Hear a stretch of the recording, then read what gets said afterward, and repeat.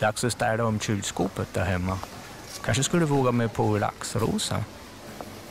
Ja, vilket uttryck. En tydlig självironisk twist. Resultatet blir ett kylskåp som är lekfullt, men på samma gång provocerande. Så. Nej, inte helt top notch lookmässigt, men supermumsigt. Kanske kan ha den i garderoben och mumsa runt det, men ingen ser.